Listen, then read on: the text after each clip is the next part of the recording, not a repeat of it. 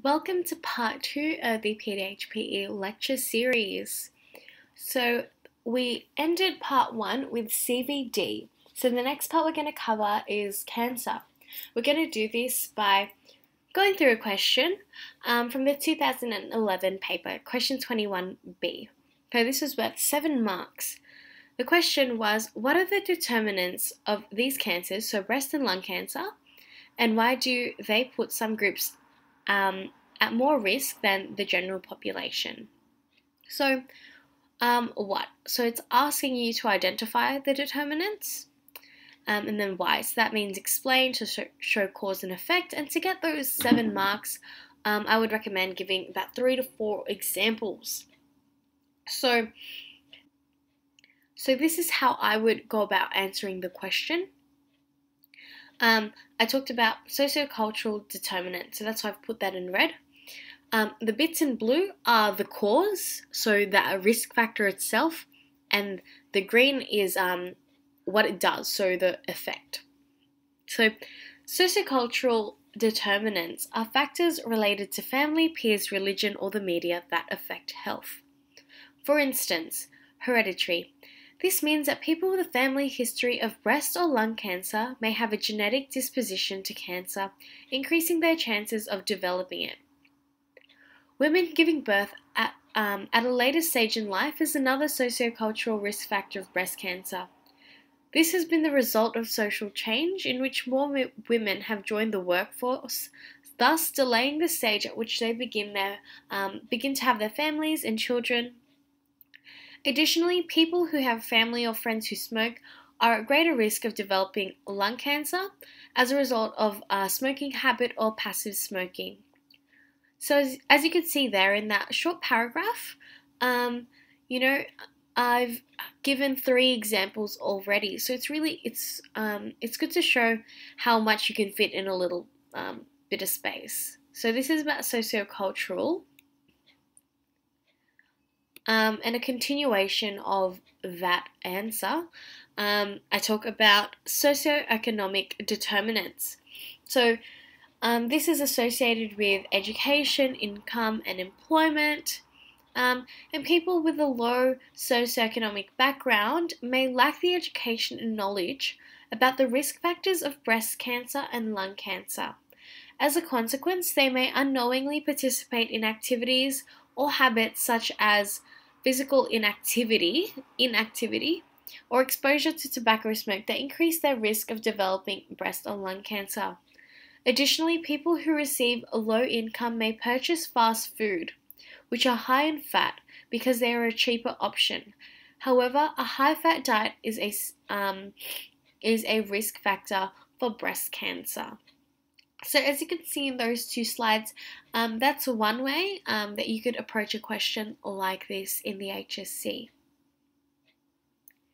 So before we end this focus question um, in core one, I'm just going to go through a few more multiple choice questions that you can use to study right now. So from 2015, which of the following best defines the process of metastasis?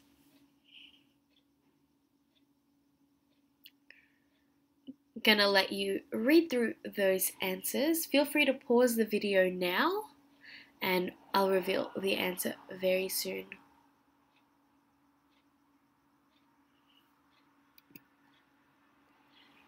And so we have C. So metastasis is malignant cells invading body tissues or organs. So this you might think like what is metastasis like when i did my HSC, i got this question and i was like what on earth um, a lot of people got this question wrong. Actually, the way I ended up getting this question right is that I um, process of elimination. So you know, if you don't know um, what the question could be, just kind of go by that. Just see what it could not be. Um, and my guess was right, and it was C. So you know, if you have completely no idea, process of elimination. Get rid of the ones you definitely know are um, are the wrong answers and then just try to go from there. But yeah, so you know the they can get really specific in the multiple choice questions as well. Then we've got question 8 from 2012. Um, which of the following diseases is now three times more prevalent than it was 20 years ago in Australia? And the answer to that question is B, diabetes. So you might think this is a really mean question. It's not even in um, the syllabus, but it kind of is. So um, you do have to do a little bit of research. You know, if you don't know trends in certain diseases, um, really valuable to have a look at some of the questions from past HSC papers um, on that. Um, you know, you don't have to know, like, as I said earlier, you don't need to know a great, great, great, great deal about it, but you do know you do need to know some trends. So for this, the reason why um, it was it was obviously diabetes is because the core is all about um, these priority health issues um, that usually result from uh, life like they're usually lifestyle diseases and the lifestyle disease there is diabetes so some something that is um, quite easily preventable um, and as you would know um, throughout the year you've probably learned that um, people have been engaging in more sedentary um, lifestyles so you know they're not going out as much and the population is um, eating a lot more unhealthy food. Alright, so that's the end of focus question two. Um, we're going to move now to focus question three. And we're going to start off with another multiple choice question. Um, so it's about healthy aging. So, what um, is healthy aging? So, I'll let you pause the video now and I'll show you the answer soon. And it's B. Um, healthy aging refers to the behaviors and activities that contribute to quality of life for elderly people. All right, so you know that could be a definition that you use that can help you study um, when talking about healthy aging, or kind of to gather your thoughts when they ask you a question about it. Another one is from 2012. Who has the primary responsibility um, for providing healthcare services such as public hospitals and mental health facilities. Pause the video now. And that's right, a state government. So you should know this. Um, one of the parts that you need to know is the responsibility of each level of government. And the state is responsible for the provision of public hospitals and mental health facilities, um, the federal government is usually responsible for taxi, um, for taxing, which creates revenue and provide funding for these health services. And local governments, they're, they're more um, working closely with their community. Um, and local governments do um, things like uh, waste disposal, um, ensuring the hygiene in public bathrooms, and all that kind of stuff. Um, the next part we're going to cover is about Medicare for Australian citizens.